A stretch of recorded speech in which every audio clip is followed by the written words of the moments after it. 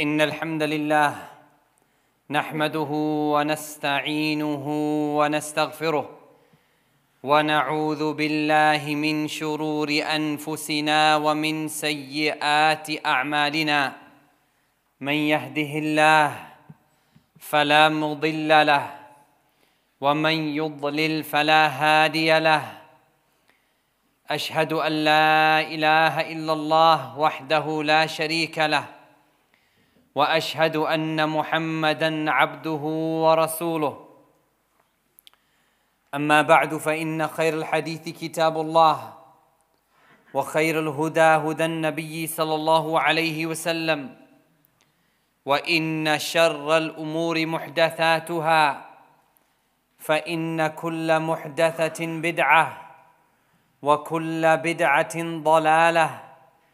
وكل ضلاله في النار اما بعد يا ايها الذين امنوا اتقوا الله حق تقاته ولا تموتن الا وأنتم مسلمون عباد الله اخوه الايمان Allah subhanahu wa ta'ala he sent his messenger Muhammad sallallahu alayhi wasallam and he revealed his noble book Al-Quran Al-Kareem and he legislated this religion, the religion of Islam, with its laws, its rulings, its morals, and its ethics, in order to bring humanity success in this life and the hereafter. Salvation in this life and the hereafter. Happiness in this life and the hereafter. And so, if you look at the laws of Islam and the religion of Islam, you will see that all of the laws are there in order to protect our interests in this life and the hereafter, and to remove potential harms from us in this life and in the hereafter. And so, and so, whoever practices the religion of Islam and remains upright upon this religion, and lives according to its laws and lives within the boundaries of halal and haram, he will succeed in this life and the hereafter. And the one who opposes Islam and does not live by its sharia, its laws and its rulings, that person only destroys their dunya and destroys their akhirah. Allah subhanahu said, فَإِمَّا يَأْتِيَنَّكُم مِّنِّي هُدًى That whenever guidance comes to you from me, فَمَنِ اتَّبَعَ هُدَايَ Then whoever follows that guidance, فَلَا يَضِلُّ وَلَا يَشْقَى That person will not be misguided. Neither will he face misery in this life and the hereafter. وَمَنْ أَعْرَضَ عَنْ ذِكْرِي and the one who turns away from my remembrance, turns away from my guidance.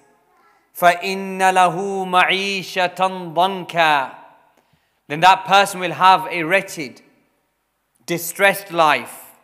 وَنَحْشُرُهُ يَوْمَ الْقِيَامَةِ أَعْمَى And then on the day of resurrection, he will have further misery because he will be resurrected blind. عباد الله إخوة الإيمان The ulama they speak about maqasid al-sharia the ulama they speak about the objectives of the sharia The fundamental primary objectives of the sharia. And there are five main primary fundamental objectives of the sharia. They are known as maqasid al-sharia. And that is that Islam has come to protect and safeguard five basic fundamental matters. Hifdhuddin. Islam has come to protect your religion. Hifdhul Aqal. Islam has come to protect your intellect. Hifdhul Mal. Islam has come to protect your wealth. Hifdhul Nasab. Islam has come to protect your lineage, your families, your marital relationships. Wahifdhul Nafs. And Islam has come to protect your lives your blood. And all of this is sacred in Islam. the religion of the people, meaning Islam, Tawheed, and the intellect, wealth, a person's lineage, offspring, and a person's blood. All of this is sacred and protected in Islam.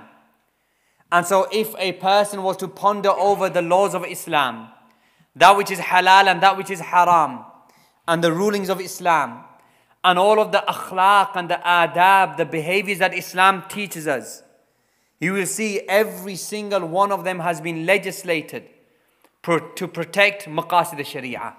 One of these five matters or more than one.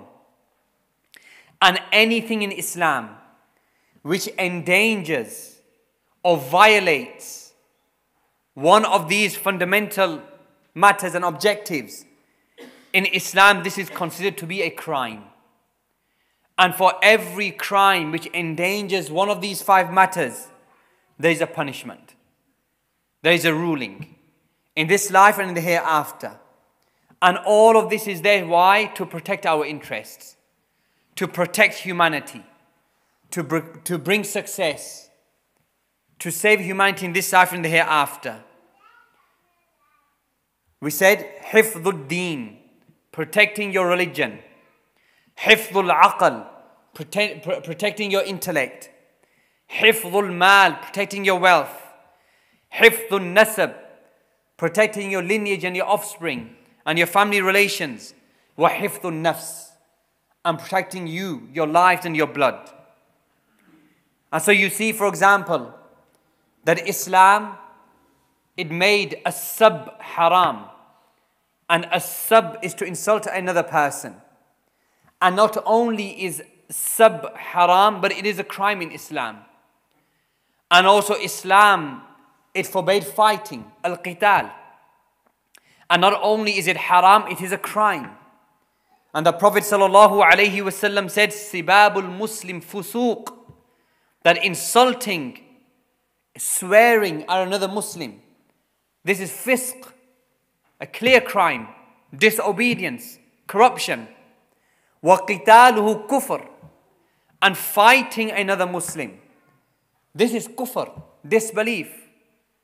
Allah subhanahu wa ta'ala tells us in the Quran, وَلَا تَقْتُلُوا النَّفْسَ الَّتِي حَرَّمَ اللَّهِ And do not take the life of a person whom Allah has made innocent, sacred.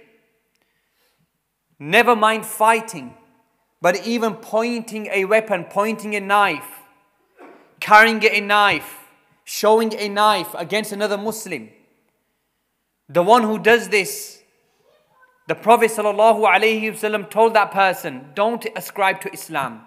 Don't even call yourself Muslim if you're going to do this. He said, Sallallahu Alaihi Wasallam, Man hamala alayna silah falaysa minna. That whoever threatens us with a weapon, shows a weapon against us, laysa minna, that person is not from us. Meaning he should not be ascribing himself to Islam. Because this is not from the actions of the people of Islam. We see that Islam has made zina, adultery haram, and has made it a crime. Made stealing haram, and it is a crime. To protect those five matters. The Prophet ﷺ, he negated Iman from the adulterer when he or she commits adultery, and from the thief when they are stealing.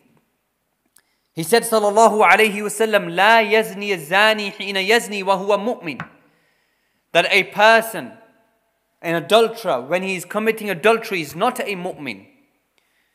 وَلَا يَشْرَبُ الْخَمَرْ حِينَ يَشْرَبُ وَهُوَ مُؤْمِنٌ And a person, when he is drinking alcohol or taking intoxicants, whilst he is doing that action, he is not a mu'min. وَلَا يَسْرِقُ حِينَ يَسْرِقُ وَهُوَ مُؤْمِنٌ And a thief, whilst he is stealing, he is not a mu'min. And Islam made al-qadhf haram. And al-qadhf is to falsely accuse a believing man or a believing woman of something which they are free from. It is haram. And it is a crime in Islam. Because protecting one's honor and one's deen and aql, this is from maqasid al-sharia. And Allah subhanahu wa ta'ala tells us in the Quran, وَالَّذِينَ يَرْمُونَ الْمُحْصَنَاتِ ثم لم يأتوا بأربعة شهداء فاجلدوهم ثمانين جلدة that those people who falsely accuse believing women meaning of fahisha indecency and they do not bring with them four witnesses then they are to be lashed 80 times because false accusation slander is a crime in Islam and Islam made al-khamr haram and made it a crime. Made drugs haram and made it a crime. Made intoxicants haram and made it a crime. And this is why the Prophet ﷺ, not only did he curse alcohol, but he cursed every single person involved with any stage of the fermentation and the selling, the buying, the carrying, the transporting, even growing the grapes for them to be fermented for alcohol. All of this was cursed by the Prophet sallallahu. He said, "La'an Allah al-khamr." May the la'na, may the curse of Allah be upon khamr. And khamr here does not only mean alcohol. Pay attention to this. Khamr, it means anything which intoxicates a person's mind. Whether it is alcohol, or drugs or any other form of intoxication. لعن الله الخمر. May the curse of Allah be upon al-khamr. وشاربها, the one who drinks it. وساقيها, the one who pours it. وبائعها, the one who sells it. The one who buys it. The one who transports it. The one who grows its fruits. the one who ferments its fruits. All of these people, la'an Allah. May the curse of Allah be upon them. Why? Because it is a crime in Islam and it is haram. And in Islam, gambling is haram. And it is a crime in Islam. And it is from the actions of shaitan. It is from the work of shaitan. He said, Subhanahu wa ta'ala, Ya ayyuha alladhina amanu innama al-khamru wal-maysir. O people of Iman, verily khamr and maysir, gambling. And then he said towards the end of the ayah, rijs, that this is filth and impurity min amali shaitan from the work of shaitan not from the work of the muslims. Fajtanibu so stay far away from this. La'allakum tuflihun because it will bring you success if you stay away from this haram and this crime and this dirt and filth it brings you success and islam has made bid'ah haram and bid'ah is a crime in islam why? Because it threatens the deen of the people, the religion of the people. It threatens Al Islam. And this is why the Prophet ﷺ, he cursed innovations and he cursed those people who accommodate or give refuge to the innovators. The hadith is in Sahih Muslim. He said, Sallallahu Alaihi Wasallam, La'an Allah man la'ana walidahu. May the curse of Allah be upon a person who curses or insults his own father. وَلَعَنَ اللَّهُ مَنْ ذَبَحَ لِغَيْرِ اللَّهِ And may the curse of Allah be upon a person who slaughters an animal for the other than Allah, meaning a shirk. وَلَعَنَ اللَّهُ مَنْ آوَى مُحْدِثًا And may the curse of Allah be upon a person who accommodates or gives refuge to an innovator. Because through this action, you are endangering the deen of the people and misguiding the people and opening the doors of misguidance. And Islam, it made ghish haram, dishonesty, treachery, cheating in our dealings, in our businesses, going back on our promises, in our contracts. And it is a crime. And this is why the Prophet ﷺ, he addressed those people who partake in ghish, cheating, dishonesty, treachery. And he said, if you're going to do this action, don't ascribe to Islam. He said, Man ghashana laysa minna. That whoever cheats us, deceives us, is treacherous towards us, laysa minna. He's not from us Not from the people of Islam. Because this is not the guidance of Islam. We see that Islam, it has made rishwa haram. Bribery is haram. Blackmailing is haram. And not only is it haram, but it is a crime. And this is why the Prophet ﷺ sent the la'na of Allah upon the one who gives bribery and the one who accepts bribery. He said, لعن Allah rashi wal murtashi.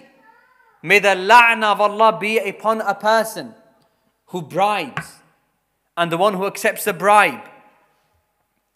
Why? Because it endangers the rights of the people, the deen of the people, the intellect of the people, the offspring of the people, the lineage, their money, their wealth, their businesses, their livelihoods, their blood. So it is a severe crime in Islam. We see that Islam has made sihr haram, magic, any type of magic, fortune telling, astrology, horoscopes, haram, and a crime. And this is why the Prophet ﷺ said, Man saddaka kahinan, that the one who goes to a fortune teller and believes what the fortune teller is telling him, فَقَدْ كَفَرَ بِمَا أُنزِلَ مُحَمَّدْ صلى الله عليه وسلم then that person has disbelieved in that which was sent to Muhammad sallallahu alayhi wasallam. I Islam and Tawheed disbelieved. So it is haram and kufr and it is a crime. And we see that Islam has made lying haram and a crime. And slander is haram and a crime. And backbiting is haram and a crime. And mocking another person swearing, insulting, belittling, joking about another person at their expense to belittle them, dishonor them, to hurt their feelings. Not only haram, it is a crime in Islam. And Allah subhanahu teaches us these beautiful manners in the Quran. He said, Ya ayyuhalladina amanu la yaskhar qawmun min qawm. O people of Iman, a people should not mock or humiliate another people. Then later on, wala nisa'un min nisa, and a group of women should not mock, joke about, belittle another group of women. Wala talmizu anfusakum, and do not insult each other. And he said, wala tanabazu bil alqab, and do not give bad nicknames to each other. He said later on, يا أيها الذين آمنوا اجتنبوا كثيرا من الظن O people of Iman, avoid much suspicion, bad thoughts about the people. وَلَا تَجَسَّسُوا Later on, do not spy upon each other. وَلَا يَغْتَبْ بَعْضُكُمْ بَعْضًا And let not each other backbite others. All of this haram in Islam and a crime in Islam. And we see that Islam, it has made personal sins haram. Personal acts of disobedience haram because it endangers your own deen, your own intellect, your own offspring. So all of these actions and many more actions, they are not only haram, but they are a crime. And why did Islam make them a crime? Because it endangers maqasid al-sharia. Those five matters which Islam was sent in order to protect. Ibadallah ikhwat al-iman. So a Muslim is the one who safeguards those five, five matters, protects them, does not engage and violate them. So the one who transgresses and violates the religion, the Islam of the people, in Islam, mujrim, is a criminal. The one who violates the intellect of the people to the selling of alcohol and intoxicants in Islam, mujrim, he's a criminal. The one who violates and steals and takes the wealth of the people. In Islam, mujrim, criminal. The one who violates the nasab, the lineage, the offspring of people, haram relationships, endangers people's offspring, endangers people's lineage, lineage. The one who insults people's lineage, the one who mocks people's lineage, their families, their fathers, their mothers, mujrim, criminal Islam and the one who violates and endangers people's lives, blood, mujrim, is a criminal. وَلَيْسَ الْمُسْلِمُ بِمُجْرِمٍ And a Muslim cannot be a criminal. أقول قولي هذا واستغفر الله لي ولكم فاستغفروه إنه هو الغفور الرحيم بسم الله والحمد لله والصلاة والسلام على رسول الله أما بعد Ikhwani al Muslimin, we are living in a society, and this is not hidden from anybody here, in which there are many, many problems. And every day in the news, we hear of more crimes. Knife crimes are increasing, gun crime is increasing, the spread of drugs and intoxicants, never mind the personal sins which Islam has made haram. Then, in addition to this, weakness of Iman weakness of haya, a lack of respect, the spread of ignorance. And we don't have to look at the big cities. And neither do we have to look at other communities. Rather, in our own town, within our own community, amongst our own families, our own children the Muslims and the children of the Muslims and the communities of the Muslims, we see these crimes are becoming widespread. And all of you are aware only yesterday or two, three days ago, that which was reported in fights breaking out between Muslim boys from Nelson and Brierfield, and authorities getting involved, and stop and search warrants being given out, and perhaps curfews. All of this becoming widespread. And this is not the actions of the Muslims. This is not the actions of a person who represents Islam. In fact, the Prophet ﷺ taught us the opposite. He defined a Muslim. He said in the hadith in Sahih Muslim, Al-Muslimu man salim al-Muslimuna min lisanihi wa yadeh.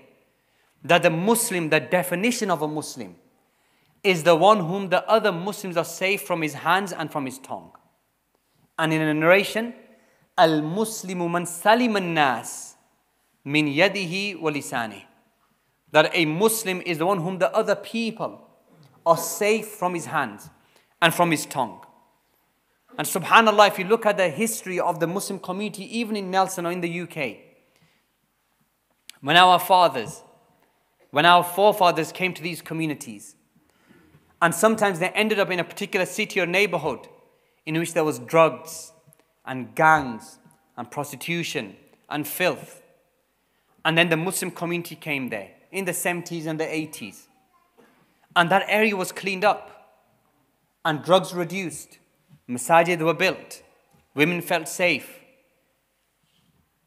Our forefathers, they gained the respect of the non Muslims. They were known for being hardworking. They gained the respect of the authorities. And this was what they gave to Islam. And then after this, the next generation came, our generation. And because of a, of a lack of iman, a lack of taqwa, a lack of haya, and also a lack of tarbiyah, a lack of Islam, a lack of, a lack of education, then the opposite happened. More crimes, dirty areas, people endangered, people not feeling safe, looked down upon by the Muslims, by the non Muslims, by the elders, by the young, by the authorities. All of this because of a lack of Iman, at taqwa, and al haya.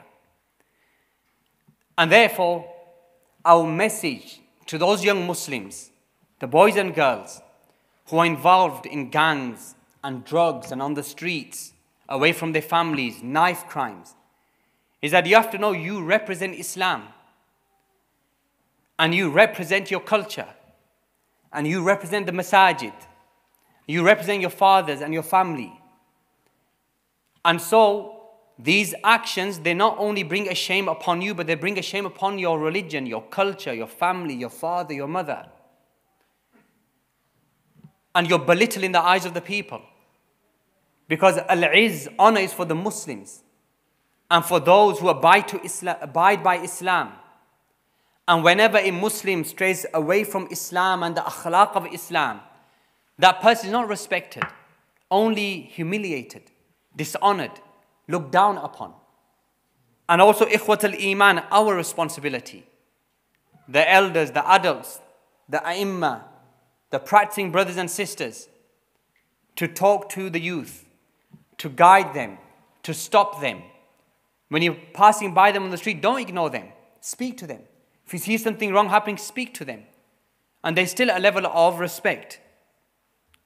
اللهم أعز الإسلام والمسلمين اللهم أعز الإسلام والمسلمين اللهم أذل الشرك والمشركين اللهم دمر أعداءك أعداء الدين اللهم انصر دينك وكتاب وسنة نبيك وعبادك المؤمنين اللهم إنا نسألك الهدى والتقى والعفاف والغنى اللهم آت نفوسنا تقواها وزكها أنت خير من زكاها. أنت وليها مولاها. اللهم أصلح شباب المسلمين وشاباتهم. اللهم اجعلهم قرة عين لمجتمعاتهم وأسرهم وآبائهم وأمهاتهم اللهم أعزهم بالإسلام. اللهم أعز الإسلام بهم. اللهم حبب إليهم الإيمان وزينه في قلوبهم. اللهم كره إليهم الكفر والفسوق والعصيان. اللهم اجعلهم من الراشدين. يا أرحم الراحمين. اللهم أص... اللهم أصلح نساء المسلمين. اللهم ارزقهن الحياء والعفاف والحشم وال... والإيمان. اللهم أعذهن من التبرج والسفور. يا أرحم الراحمين. اللهم أصلح لنا ديننا الذي هو عصمة أمرنا. وأصلح لنا دنيانا التي فيها معاشنا. وأصلح لنا آخرتنا التي فيها معادنا. اللهم اجعل الحياة اللهم اجعل الحياة زيادة لنا من كل خير. اللهم اجعل الموت راحة لنا من كل شر. عباد الله إن الله يأمر بالعدل والإحسان وإيتاء ذي القربى وينهى عن الفحشاء والمنكر والبغي. يعظكم لعلكم تذكرون وصلى الله على نبينا وسلم وأقم الصلاة.